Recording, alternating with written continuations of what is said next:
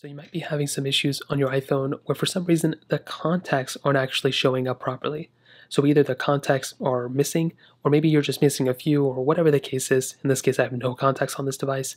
Now, a main reason why this may be happening is for one, you didn't really transfer your contacts from your iCloud account to your specific device. If it's a brand new phone, then that's completely different. But if you're coming from a previous device, the first thing I recommend doing is going into your settings and making sure your iCloud account up here is the same one that you used on your previous device and it's synced up properly from your previous device too. A great way to tell this is if you did a backup, just click on your name right here and basically scroll down into iCloud, which is right there, and you will basically see a few things down here.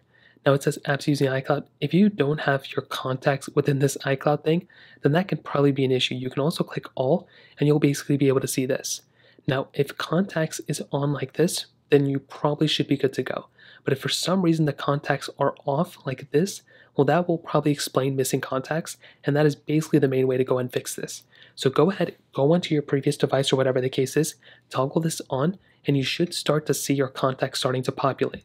That is by far the main way to go and fix this, and probably the only way to be honest, unless you manually like deleted the contacts. Really, this is the main way to do it. Now, if you're bringing in contacts from like a SIM card or something, that's a completely different process.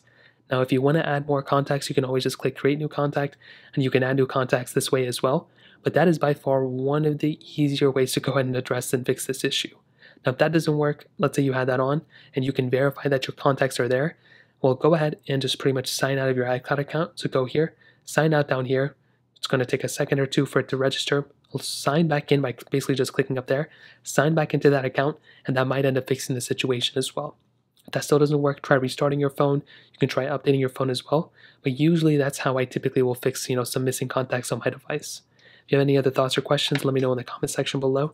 Hit the like button, that means so much, but definitely hit that subscribe button. More importantly everything else, I love every single one of you guys.